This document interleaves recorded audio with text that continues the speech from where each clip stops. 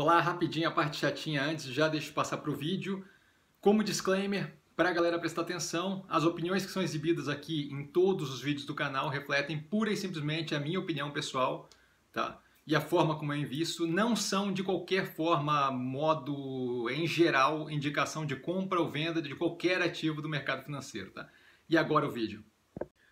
Olá, Cassiano Bittencourt pelo Visão do Estrategista, hoje para fazer a análise da Sula, Sul América, tá? Sula 11, é um ativo aí que a galera pediu algumas vezes já, então finalmente chegamos aqui, tá? Para o setor ali de seguro e saúde, a empresa opera primariamente, tá? Como seguradora do segmento de saúde e odonto, vocês vão ver, é, como a gente pode ver, alguma atuação ali menor, tá? Na área de previdência, é, vidas e acidentes pessoais, vidas e acidentes pessoais, tá? Porém, entretanto, todavia, como vocês podem ver pela distribuição da receita por área na tela, a gente vê que é basicamente ali o segmento de seguradora de saúde odonto, tá? Dá um pouco de cor aí é, esse quadro da, da dominância ali do setor de saúde, de, de seguros, né? Na operação como um todo, não gosto de encher linguiça e perder tempo, então isso daqui vai ser rápido, tá? A gente vê um due diligence rápido, é, rápido, da receita operacional, com um crescimento de 5,4%, Year on year, está muito próximo ali do delta, se a gente considerar só o main business de seguro, que tem um crescimento de 5,3%. Tá?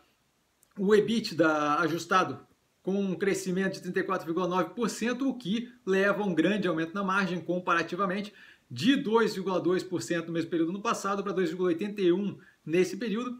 Margem essa que a operação não discrimina em nenhum momento do release, então é algo que de fato eles não ficam publicando ali, tá? Tentei é, encontrar essa margem de qualquer forma, até porque quando eles falam receita operacional, eu geralmente busco a receita líquida ou receita operacional líquida e ele não tem propriamente essa discriminação. De qualquer forma, pouco importa, é uma margem que é extremamente baixa quando a gente comparar, com, com, quando a gente compara tá, e bota ali lado a lado com outras operações verticalizadas, outras opções verticalizadas no setor, que é o caso de Notre Dame, é, Apivida e por aí vai. Tá?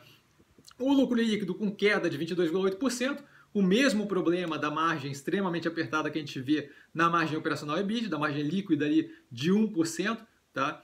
É, isso, esse tipo de coisa é mais do que natural em operações não verticalizadas, isso porque basicamente o que ela faz é ligar o cliente ao serviço, tá? Então não tem propriamente, é, não está propriamente agregando muito ali ao, ao que está sendo feito no que tange seguro de saúde, tá? Infelizmente o fato de ser natural, esse tipo de operação não torna propriamente uma, uma boa opção, tá? A sinistralidade é consideravelmente alta, mesmo retirando o efeito de Covid nesse período agora que a gente vê ali eles fazendo ali um ajuste, né? E mais importante, historicamente mais alta que os pares verticalizados, como a gente pode ver novamente aí na tela. Vocês vão ver que está cezinho ali o título da Apivida, porque isso daí foi retirado justamente da apresentação institucional da Apivida, só para dar uma noção, uma ideia do que a gente vê é, como estruturalmente padrão ali da sinistralidade das operações que estão nesse setor. Tá? Isso dito, eu não vejo qualquer sentido para alocar nativo.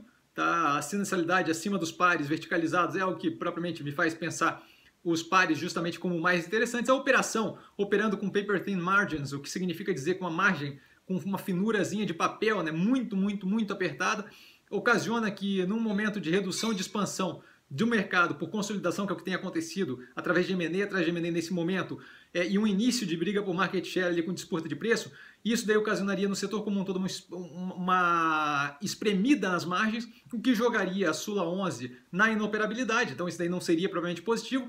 A solução aqui para essa atividade, para essa atuação, para essa operação seria justamente verticalizar, Tá? E aí a sequência de captações de operações que a gente acompanhou durante o começo do ano do setor de infraestrutura hospitalar deve inflacionar justamente a capacidade de compra de clínicas, postos de atendimento, hospitais e por aí vai, porque a gente tem muita gente com muito capital justamente tocando fogo em dinheiro para ampliar as operações. A gente viu Mater Dei, Redditor e por aí vai, né? do final do ano para cá, do, do final do ano passado para cá, tá? o que dificultaria a possibilidade de fazer esse tipo de movimento aqui pela operação de forma economicamente proveitosa, tá? Isso inclusive a diretoria, inclusive, imagino eu que vendo isso, se mostra ali contra um movimento de verticalização, eles chamam algo de verticalização virtual, eu não vejo muito como propriamente é, a mesma coisa ou viável, tá?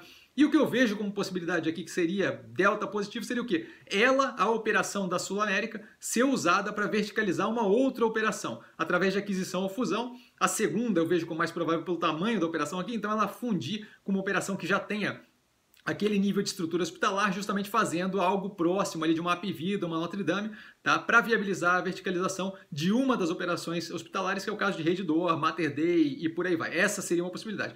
Como eu não invisto, não invisto por gatilho, tá? aguardando ali uma possível fusão, é algo que não me apetece ficar esperando um ativo para caso algo assim aconteça, e pelos outros fatores citados aqui na análise, margem apertada, sinistralidade acima da média e por aí vai, não tenho interesse no ativo, Tá? Mas não vejo provavelmente como. É, novamente, é, é, muito mais uma questão de custo de oportunidade. No setor, a gente tem opções melhores que não são propriamente as daqui. Eu acho que o setor está todo caminhando num direcionamento de verticalização e aqui não é propriamente o caso, a não ser que haja uma fusão dela com uma operação que tem ali a infraestrutura hospitalar, que é o que eu imagino que eventualmente venha a acontecer. Tá? Dúvida? Eu estou sempre no Instagram, arroba com sim. Só ir lá falar comigo, não trago a pessoa amada, mas estou sempre ali disponível respondendo vocês. E vale lembrar que quem aprende a pensar bolsa opera com mero detalhe. Um grande abraço a todo mundo e até a próxima análise.